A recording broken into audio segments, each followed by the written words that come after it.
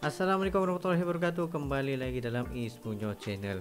Untuk hari ini aku ingin mengomel sedikit lah Tentang uh, berkenaan dengan Shopee Sales Ataupun Lazada. Aku rasa Lazada lagi better sekarang berbanding Shopee.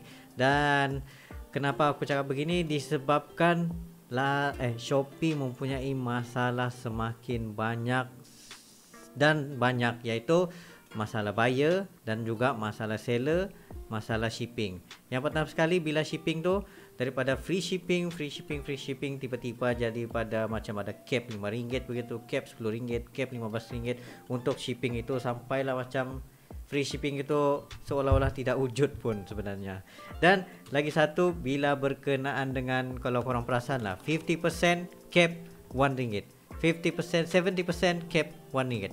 Baik dapat letak 70%, 50%, baik letak 100% cap satu ringgit.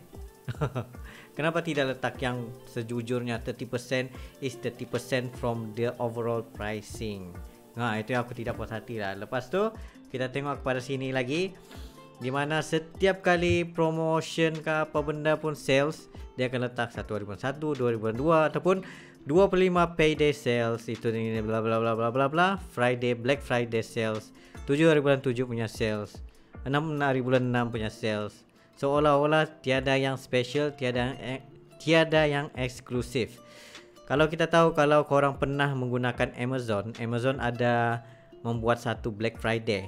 Tetapi Black Friday Black Friday punya diskaun itu betul-betul diskaun. Contoh sebagai contoh lah kita beli handphone ni. Handphone ni ber, berharga RM2,000. Tapi bila masa Black Friday itu contoh macam dia jual 50%, Maksudnya dengan 2 jam 3 jam gitu dia jual semua barang dalam lingkungan 30% 50% begitu. Dan dia tiada cap langsung. Macam Shopee ni setiap bulan dia ingin sales.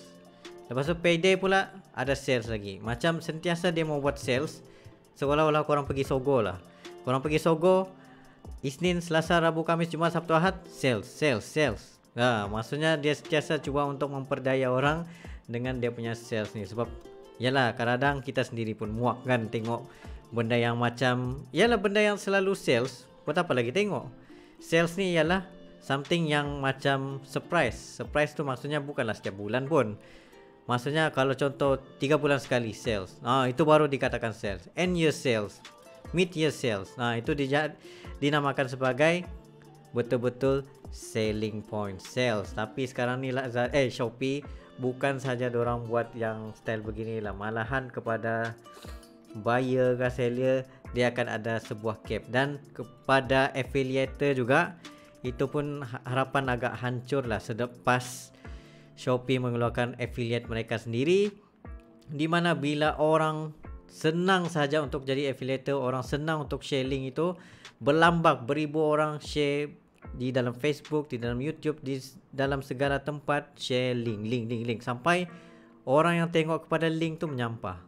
Maksudnya dia membuatkan affiliate itu tidak berkualiti sudah. Kalau dulu-dulu affiliate itu sangat sukar untuk didapat sebab korang ada limited limited macam contoh di Involve Asia perlu register ini sekian sekian sekian barulah untuk buat link lagi benda tu bukan leceh. Maksudnya dalam kelecehan itu akan menyelamatkan affiliate-affiliate sekalian. Tetapi sekarang ni bila Shopee mengeluarkan affiliate mereka sendiri, orang menghancurkan industri affiliate sebenarnya. Dan juga Shopee ini juga menghancurkan peniaga-peniaga secara kedai begitulah. Sebab orang selalunya akan compare lah. Bila pergi kedai tengok harga. Contoh harga tu RM20.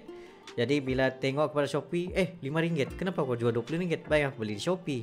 Ha, takkan masam muka do pekedai bila tengok begitu kerana aku pun begitu juga lah aku akan compare pricing macam jauh gila beza ha, yalah itu pun dari segi tertiary ataupun third party terlalu banyak agent sampai menghadapi ke tempat kedai maka harga dia pun akan berubah tapi tengok kualiti lah juga kadang-kadang uh, ada certain orang lagi prefer untuk membeli belah hanya di kedai sahaja tanpa pergi ke macam Shopee online begitu sebab dia lagi trust dengan apa yang dia tengok, apa yang dia pegang. Berbanding untuk tengok di dalam website gini, bila tengok je gini macam wah menarik, semua menarik. Tapi bila kita scroll scroll scroll scroll dan tengok kepada jam ini bila yang sampai tidak seperti yang ditunjukkan. Nah, itu pun agak tidak puas hati lah juga. Jadi aku haraplah selepas ni Shopee cuba untuk kawal cara dia punya komunis tu sikit lah. Maksudnya be like Lazada. Sebab tu aku macam